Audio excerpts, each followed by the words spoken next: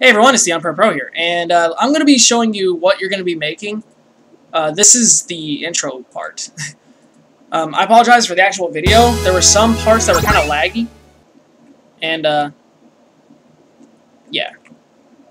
Anyways, this is what you're going to be making. You can see snow here, um, which by the way apparently resets itself when you.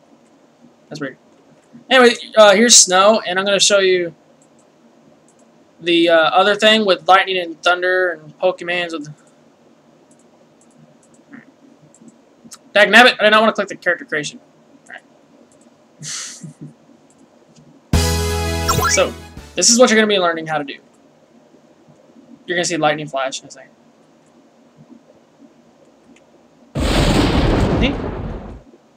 And, well, watch the tutorial, and I hope you enjoy. Hey everyone, what's up? Steve Pro here, and uh, welcome back to the RPG Maker series. Uh, this is going to be a short little episode, uh, basically controlling weather, because I haven't done that yet. So this will show you how to control weather. I'm just going to kind of create like a little circle here. Best circle ever. Alright, so uh, to get started, what you want to do is go to the event layer, and uh, set it for either auto run or parallel. No, you actually want to set it for parallel. Um, parallel process. Let's see, where is that? it's somewhere around here. Set weather effects, right here. So it's on tab 2. Uh, first you got rain, and you got the power you can control how much it rains. I'm going to show you what it looks like with zero. Maybe.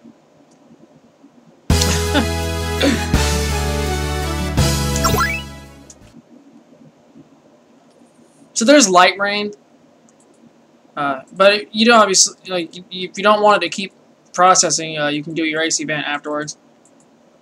So that way it only happens once, and I'll show you what it looks like on max. And you can kind of play around if you want, like go in between.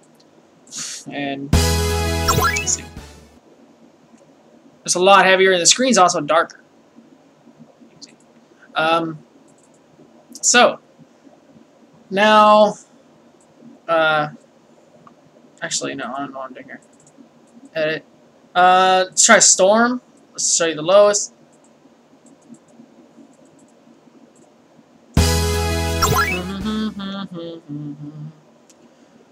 As you can see, the rain is kind of longer. Um, oops. By the way, you can also make generic lightning flashes, which I'll show you how to do that too.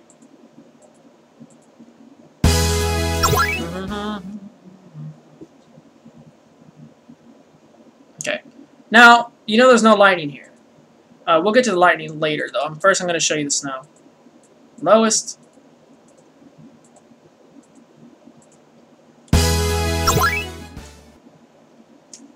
Cool. And now, the max. Uh, actually, you know what? Let's uh, have it kind of fade in.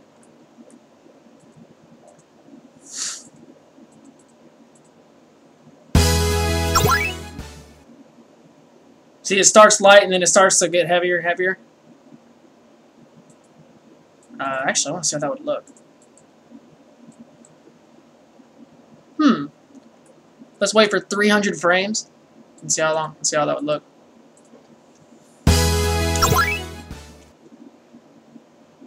So starting to snow. And it gets heavier and heavier. Right, so let's uh Let's try the, uh, actually. Okay, let's go back to the storm. Uh, zero. And I'm going to show you how to make generic lightning flashes. So go to a separate event. make it also parallel. Control variables. You're going to make a new variable called add. Just name it add. Actually, make two variables. Add and make flash. No, no, actually, you just need you just need add. Yeah, yeah, you just need add. So, make the variable add, um, click add, yeah. by random of 0 to 3. Now, uh, conditional branch, if variable add, make sure you select it, is greater than or, oops, okay, greater than or equal to, uh, say 300. Hmm. Yeah, 300 is fine. You can increase it, and you know what, let's actually go back here, change the 3 to 10.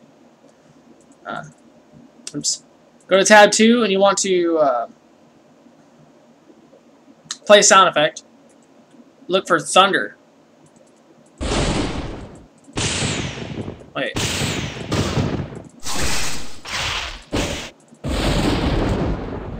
That's good.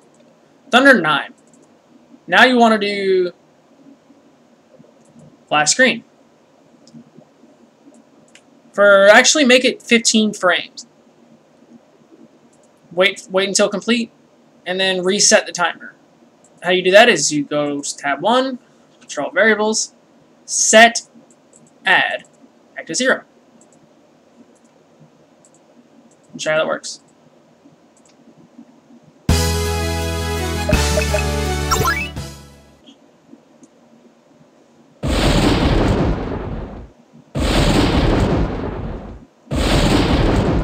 Now, you see it's kind of repetitive.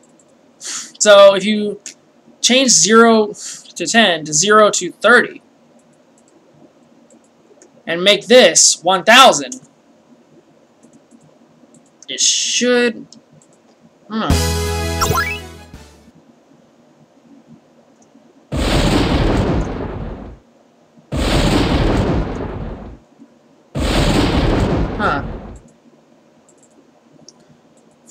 Make it actually 5,000 maybe? now actually what we're going to do um, is we're also going to add another conditional branch. And you know what? We're going to make two variables this time actually. What we're going to do is add and add 2. Add by a random of 0 to 5. Now, like like before, uh, conditional branch, if variable add 2 is greater than or equal to, let's do, just do the same thing, 5,000, we're to have a double flash. Uh, change, I just copied and pasted that. Uh, change add on this one, if you copy and pasted it to add 2. So set add 2 to 0. Now, we're to do that, and then we're to do like that.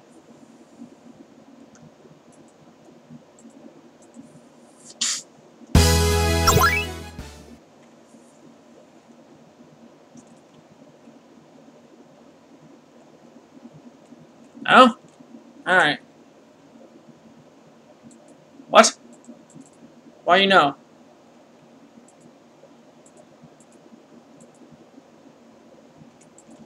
Put that an else, maybe? I don't know why it's not working.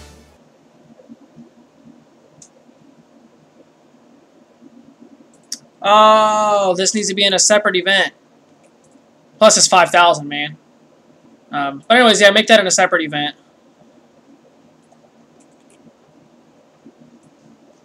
Change it from 5,000 to 3,000.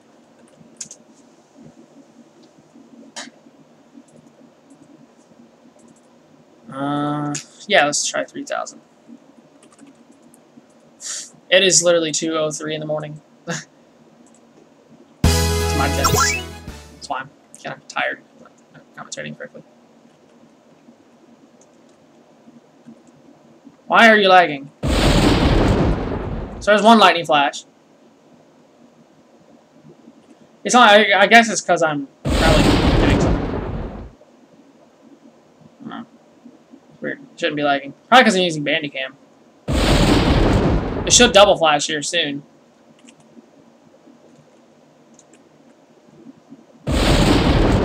We'll see.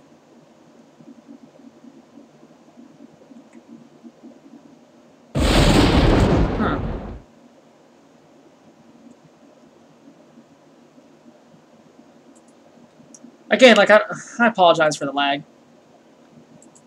Might have to reformat in the future. Um, hmm. Okay, so never mind the double flash, because now that I think about it, it would kind of interact with itself. Or, not interact with itself. Um, it, it wouldn't make sense.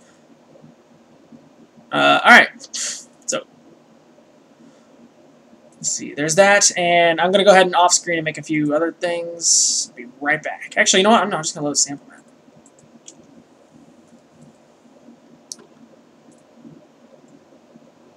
All right. So, that's that for now, and I'm going to make an intro video, and I will see you guys later.